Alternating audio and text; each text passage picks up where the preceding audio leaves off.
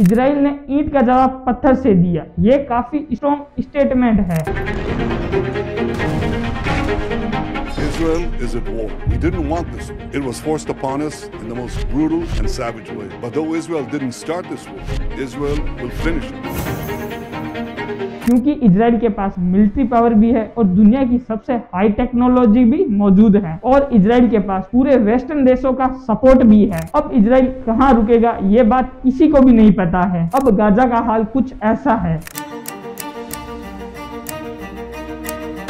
ना वहाँ पर कोई बिजली है और इसराइल ने उसे चारों तरफ़ से घेर लिया गया है। इसराइल के डिफेंस मिनिस्टर ये बात बोलते हैं कि वहाँ कोई खाना नहीं पहुँचाया जाएगा, ना ही बिजली दी जाएगी। अंत में आतंकवादियों को सिर्फ़ सिलेंडर ही करना पड़ेगा। इसराइल के अंदर करीब 1300 से ज़्यादा जगहों पर हमला किया गया। हमास ने छोटे छोटे बच्चों को भी नहीं छोड़ा था। ऋषि सुनक जो ब्रिटेन के प्राइम मिनिस्टर है, उन्होंने भी अपने ट्विटर अकाउंट पर काफ़ी स्ट्रॉन्ग मैसेज दिया। जो लोग हमास को सपोर्ट करते हैं और उन लोगों को फ्रीडम फाइटर मानते हैं। वो लोग भी इसी अटैक के लिए कहीं ना कहीं जिम्मेदार है। इतना क्लियर मैसेज देने के लिए भी एक अच्छा खासा जिगरा होना चाहिए। इसराइल और हमास का युद्ध काफ़ी पुराना है और ये पिछहत्तर सालों से ही लगातार चला आ रहा है। दुनिया के अंदर कई देश ऐसे हैं जो फिलिस्तीन को भी काफ़ी सपोर्ट करते हैं।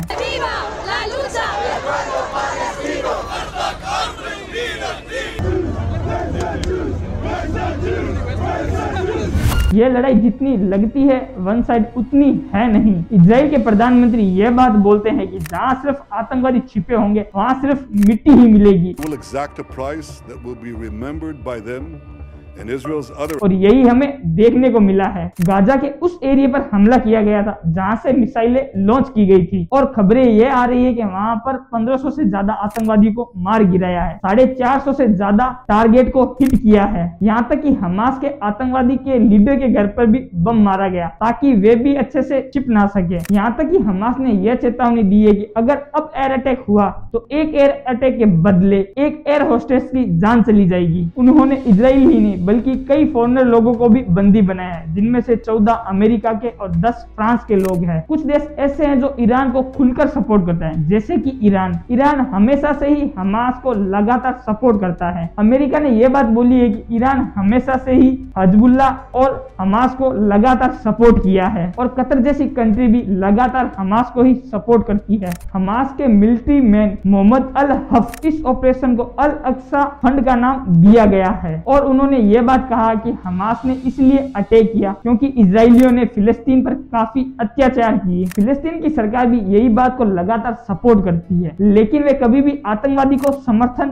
दिए बगैर। हमारी इंडिया सरकार भी लगातार यही बात बोल रही है। हिस्टोरिकल देखेंगे तो चाहे इंदिरा गांधी हो, राजीव गांधी हो, अटल बिहारी वाजपेयी हो या मनमोहन सिंह हो, यहाँ तक की प्रधानमंत्री नरेंद्र मोदी भी इसी बात को फॉलो करते हैं।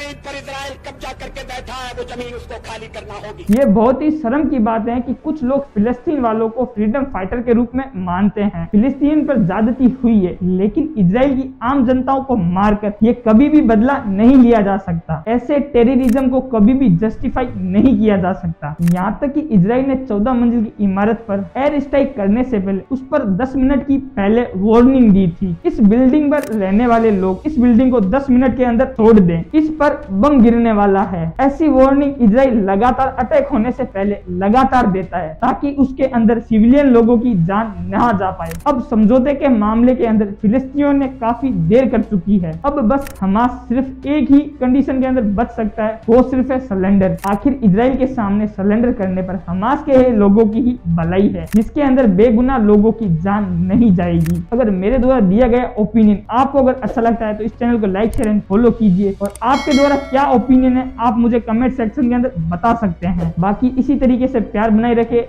जय हिंद।